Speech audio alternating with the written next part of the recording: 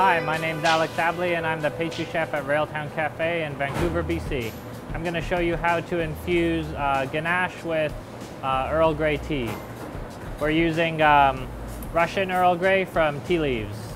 So you're going to start with a pot, uh, spatula, and all your ingredients. We have uh, cream, sugar, chocolate, butter, and a little bit of milk, and my Earl Grey tea. So you start with your cream in your pot, and get your pot on medium high heat. Then you're gonna take your tea, one to two teaspoons. Then you're gonna bring this almost to a boil, not quite, and let it steep for three to five minutes, just like you're making tea at home. Just starting to bubble, so I'm gonna shut my heat off and I'm gonna let my tea infuse into the cream.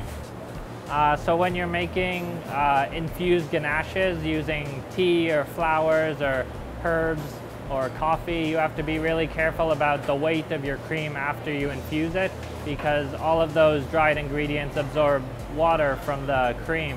So you have to add liquid back in, otherwise you're adding too much fat from the cream and too much fat from the chocolate and you're gonna split your ganache. So I'm gonna weigh my cream and see how much I lost. So I started out with 125 and right now I have 100. So my tea stole 20% uh, of my water. So I'm gonna use whole milk and I'm gonna add in that 20% back in. And then now you're gonna reheat it just before a boil. And at this point you can add your sugar. So our cream hit that crucial temperature. Then we're gonna grab a cylindrical vessel and an immersion blender.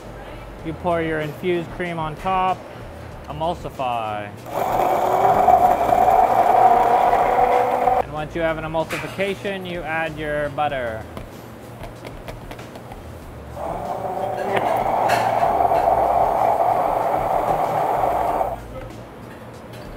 Let me go grab a plate and I'll show you. So what you're looking for in your finished ganache is a smooth, shiny satin finish with very few air bubbles. And that's uh, Earl Grey Tea Ganache.